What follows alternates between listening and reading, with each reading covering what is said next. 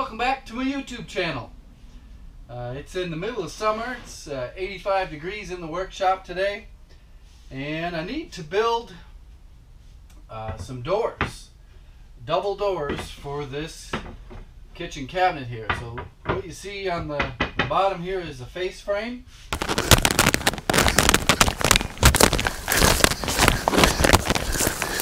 Alright guys, you're probably wondering what the heck's going on. Well, I'm live on location filming the new Handyman Survivor series for Discovery Channel and I just got a satellite message from Olight saying there's a new flash sale that starts tonight at 8 p.m. Not sure if that's East Coast, West Coast. What's on sale? There's a groups, groups package deals. Uh, this here is one of them. This little guy here. This is the the Perun, Perun Mini. It's got the uh, flashlight shines out the side. It's good for when you're on a survival TV show. And it comes with this headband. You can put it on and it's got different settings.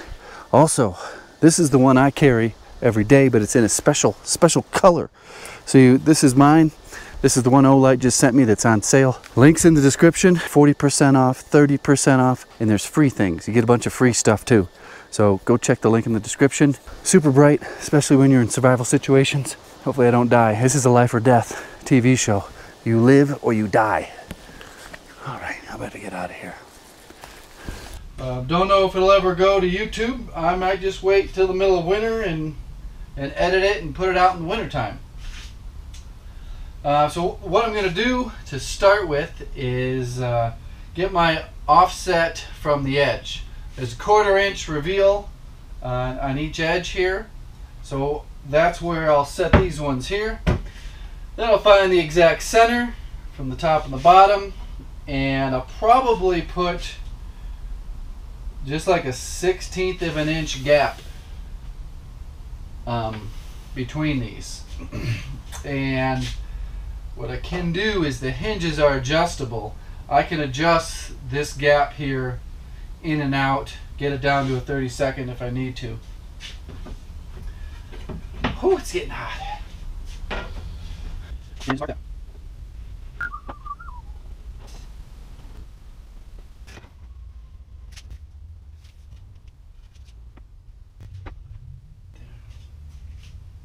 There we go. Now I'm gonna take the inside measurements, uh, add a half, and subtract two sixteenths. People love when I say two sixteenths. It should be the exact should be the exact same. Ten and a half. Going for ten and a half. Ten and a very light, thirty second under a half. The, my cutters on the the router bits are are not an even half inch deep, which is kind of annoying. It's a sixteenth inch less.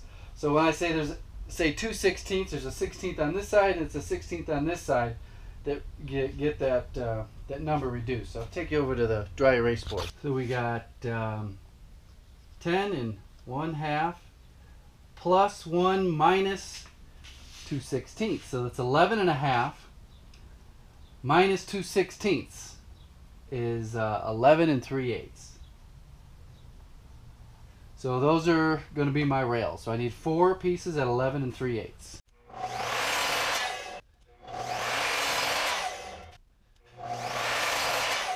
I already have the router set up from the last doors that I built. So what I'm doing is I'm going to cut I'm going to cut the uh, the ends of the rails first. I usually cut the groove where the panel goes in first, but since it's already set up, uh, I'm just going to do it kind of backwards. I'm labeling them as top and the edge that will eventually get the groove. Uh, so I just keep things oriented correctly. Incra miter guide. And it's what I use to put up against the, uh, the fence here and run them through. When you push a board into this router, router bit against the grain, it'll blow out the back side here. So I always have a, a backer that I push through, which is a piece of scrap. So that this is supporting this when this thing comes tearing through and doesn't chip out the backside. Just hooking up my my dust vacuum tube here. This setup here virtually has no dust at all. It sucks it all up right into this little box and down the tube and into the dust or the dust deputy and into a five gallon bucket. Just found out the camera was taking pictures every time I hit the record button. So I'm not sure what's gonna have where I'm at. Um, I'm on my last one. I've got three cut already.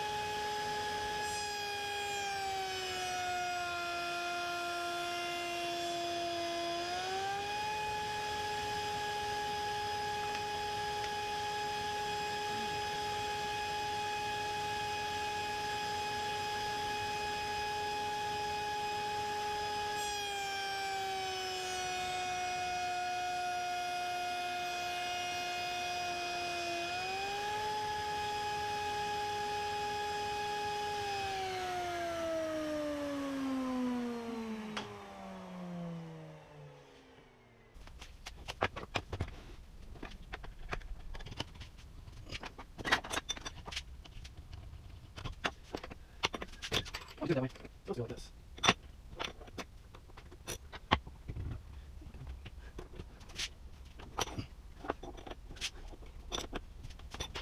Oh, yeah, over here. 88 degrees now.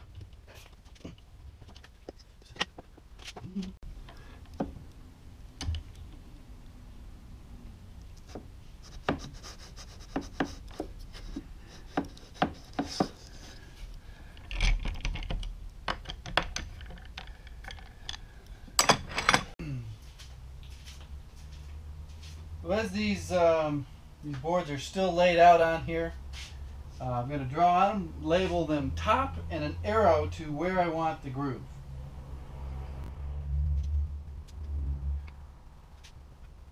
I think I've got it set up correctly, but I'm not going to jump straight to my door pieces. I'm going to use a piece of scrap first and uh, take some measurements and see how it fits into one of these and then we'll, then we'll go from there.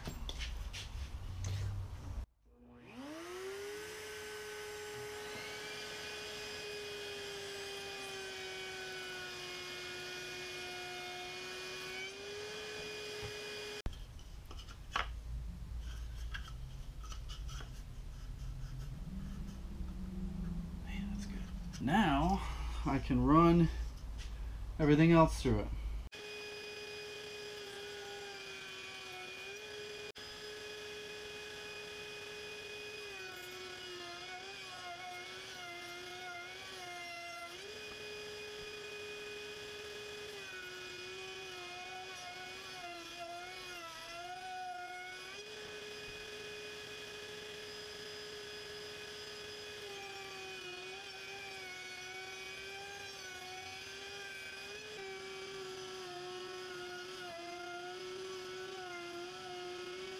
Here's the door frames dry fitted and now I'm just going to take measurements for the quarter inch paneling that goes in the middle.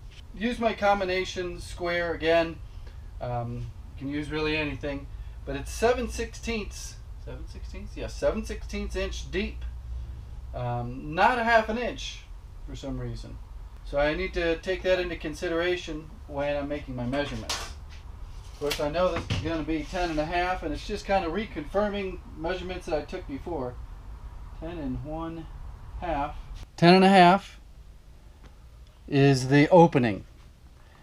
We have 7 16ths inch deep on each one. So this is the left side and the right side. Now, if we ended it there, that would give us the exact uh, dimensions inside the groove. Uh, but I want to take a 16th out on each side.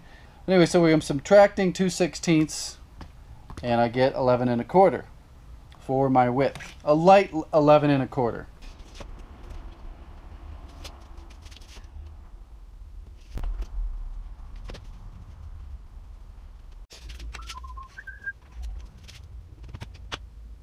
One of the reasons that I use these clamps uh, is if there is any bow to this board where there can be a like a pivot point in the middle, this track will shift. Um, if it was perfectly flat, uh, there's like specific uh, workbenches that you can make to use these track saws. If it's perfectly flat and it's not a real smooth surface, like it's just a standard piece of plywood, you can get away with just putting the track down and it won't shift on you when you're cutting. So I've uh, made this one inch or half inch longer wider than I need because my final cuts are going to be made on the table saw.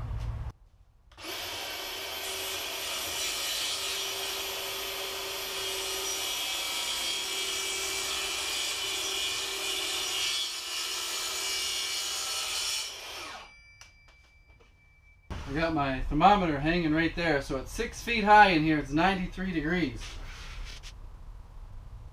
When it work? I like when it work.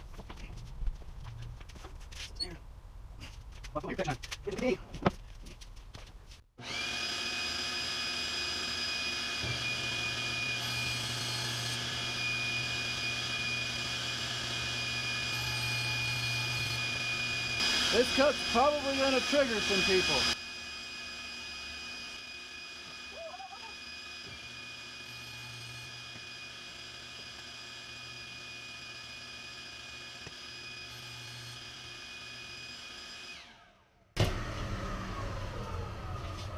In all seriousness, you're not supposed to do that. Um, if I had a cross-cut sled, I could have done that. Could have done a lot of things, but that is quick, easy, and I've never had any problems with it. I focus on the fence. Of course, I make sure I don't have any hands over it like here, and I'm focusing on even pressure, sliding, uh, sliding across the fence. I got my table portion waxed. This is waxed. It's real slippery. So I've just never had any problems with making those cuts. What I do next is a dry fit of everything. Uh, make sure it's square, then take it apart, then glue it all back together. Um, it's just uh, an extra precaution. Uh, I don't mind remaking one piece, but if I ruin an entire door, uh, that'll piss me off.